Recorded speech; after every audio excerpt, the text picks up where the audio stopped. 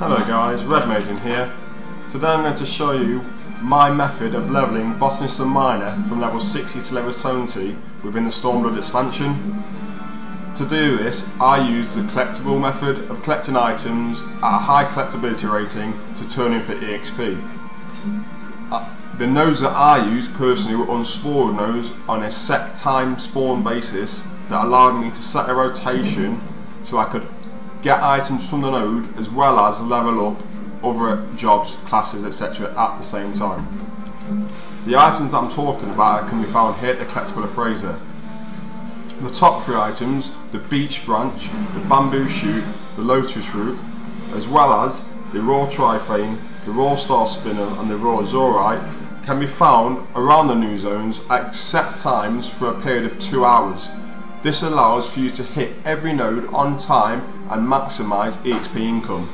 You will notice that assigned to these uh, items there is a level.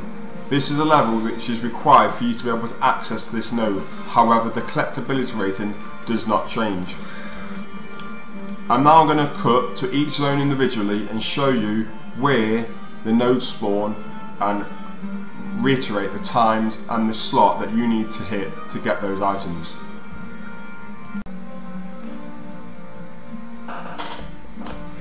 So we're here at the Ruby Sea. The first item that we're looking for is the Raw Star Spinel. It spawns at 12am and 12pm respectively and can be found in this area here. It's contained within slot 8 and requires a collectability of 450 for you to be able to turn it in for EXP.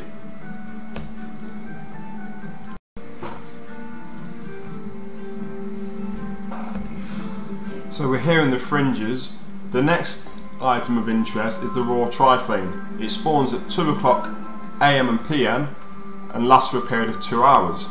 It can spawn at this ridge here and is contained within slot 6. This also requires a collectability rating of 450.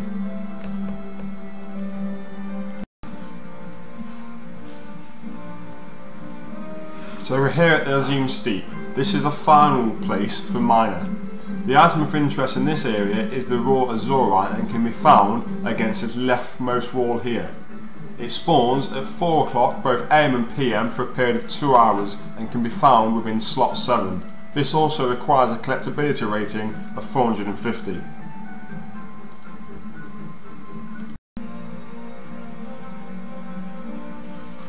We're now in the fringes and we swapped over to botanists. The item that we're going to be looking for now is the beech branch and can be found in this area here. It spawns at 6 o'clock both AM and PM for a period of 2 hours and can be found in slot 3. This also requires a collectability rating of 450.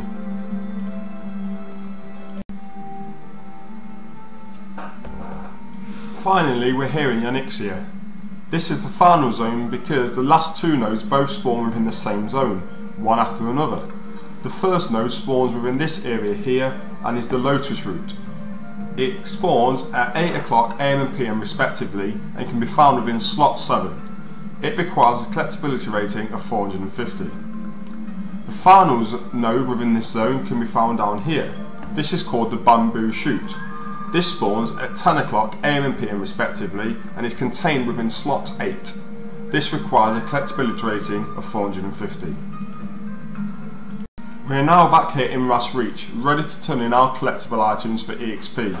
If you are unfortunate enough to only get two collectible items per node, this will equate to just under 1.5 million EXP which has been obtained within the last 12 game hours. This of course can be repeated and allows for you to engage in other activities such as crafting. An advantage of this method also includes the generation of red gatherer scrips. Along the way you'll have more than enough red gatherer scrips to obtain all new folklore books ready to tackle the legendary nodes once you are geared. I hope that this guide has given you the information you desire, allowing you to level your Botanist and Miner in the most efficient and effective way. In the comment section I will post a level by level rotation which will allow you to maximise your EXP income.